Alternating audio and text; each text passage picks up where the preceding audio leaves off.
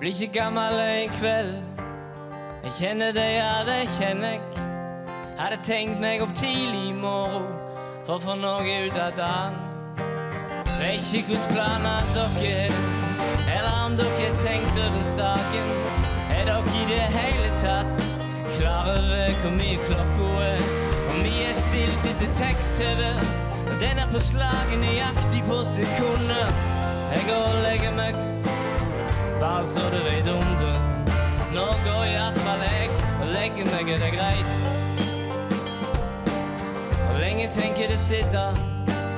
Bare sitte for min del, ja, bare sitt. Det er fint hvis du kunne dempe dere litt. Et gammelt hus, det her det er lytt.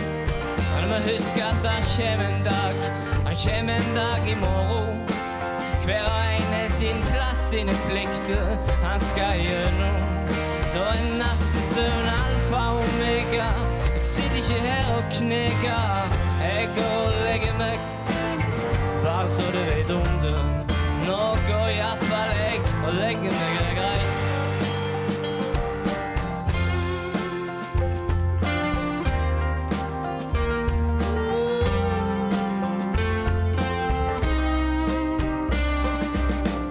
Dere sitter her ennå, ja. Mobilen min ligger den der i hjørnet. Ja, nei, jeg kan bare ligge. Ikke noe som har ringt, nei. Jeg får bare sjekke. God natt. God natt, god natt. Ser naboen er jo sløkt nå. Må ikke glemme å slukke her.